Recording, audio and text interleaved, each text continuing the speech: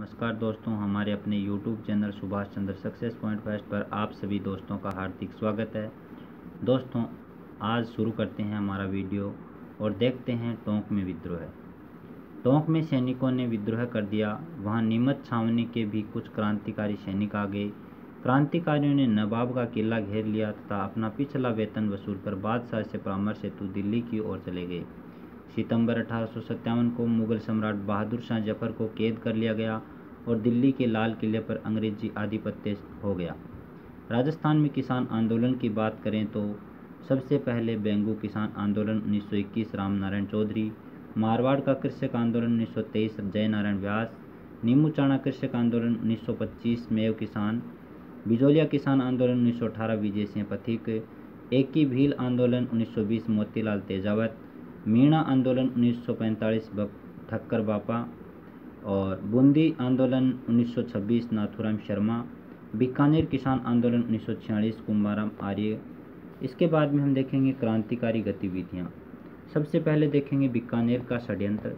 1931 को द्वितीय गोलमेज सम्मेलन में महाराजा गंगा सिंह के इंग्लैंड जाने पर चंदनमल बहड़ सोहनलाल सत्यनारायण वकील व अन्य साथियों ने बीकानेर प्रशासन एक दिग्दर्शन शीर्षक से पुस्तिका विकासित करवाकर गोलमेज सम्मेलन प्रतिनिधियों व ब्रिटिश संसद के सदस्यों को वितरित की, जिसमें महाराजा गंगा सिंह के कुशासन का सजीव चित्रण था।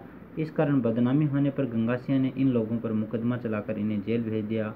इसे बीकानेर षड्यंत्र के नाम से जाना जाता है। इसके बाद में हम अगला टॉपिक देखेंगे। अगले टॉपिक में हमारे पास रहेगा तसीमो कांड। तसीमो कांड क्या है? तो तसीमो कांड बहुत ही महत्वपूर्ण घटना थी। इसके बारे में हम बात करते हैं। सबसे पहले बात करें धौलपुर प्रजामंडल की सार्वजनिक सभा 11 अप्रैल उन्नीस सौ सैंतालीस को। तसीमो नामक स्थान पर एक नीम के पेड़ के नीचे हुई। उस नीम के पेड़ पर तिरंगा झंडा फहराया गया, जिसे नीचे उतारने पहुँची धौलपुर पुलिस की गोली से ठाकुर छतर सिंह परमार व ठाकुर पंचम सिंह कछवा शहीद हो गए। लेकिन फिर भी तिरंगा नहीं उतारने दिया। इस स्थान पर प्रतिवर्ष 11 अप्रैल को मेला लगता है। डाबड़ा कांड जो इतिहास प्रसिद्ध घटना मानी जाती है। तो सबसे पहले बात करेंगे, तेरह मार्च उन्नीस सौ सैंतालीस को डीडवाना परगने के डाबड़ा गाँव में आयोजित किसान सभा में मारवाड़ लोक परिषद के कार्यकर्ताओं पर जागीरदारों के हमले के में अनेक कार्यकर्ता व किसान घायल हो गए। इस हमले में चुनीलाल शर्मा व अन्य चार किसान शहीद हो गए थे। इसको डाबड़ा कांड के नाम से जाना जाता है। सागरमल गोपा कांड की बात करें तो जैसलमेर, महारावल, जोरावर सिंह के समय जैसलमेर का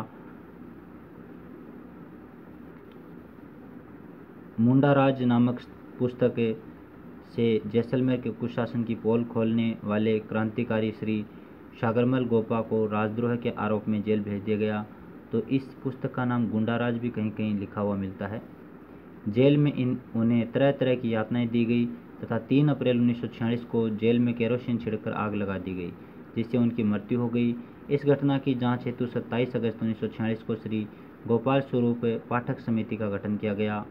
होर्डिंग्स बम कांड की बात कर लेते हैं। 23 दिसंबर 1912 को दिल्ली के तत्कालीन गवर्नर जनरल होर्डिंग्स के जुलूस पर जोरदार जोरावर सिंह बारहट ने चांदनी चौक में बम फेंका। लॉर्ड हार्डिंग्स बच गए इस प्रकरण में श्री अर्जुन लाल शेट्टी को वेलूर जेल भेज दिया गया था। मेयो कॉलेज बम केस की बात करें, उन्नीस सौ चौंतीस के मध्य में तत्कालीन वायसराय की ओर अजमेर यात्रा के दौरान उनकी हत्या करने के लिए ज्वाला प्रसाद व उनके साथी फतेह चंद आदि ने मेयो कॉलेज के समीप खाली पड़े मकानों में बम आदि हथियार छिपा दिए, परंतु पुलिस की सक्रियता के कारण योजना विफल हो गई। अब हम देखेंगे अगले टॉपिक में, और अगले टॉपिक में हमारे पास रहेंगे त्यांता टोपे का राजस्थान में अभियान।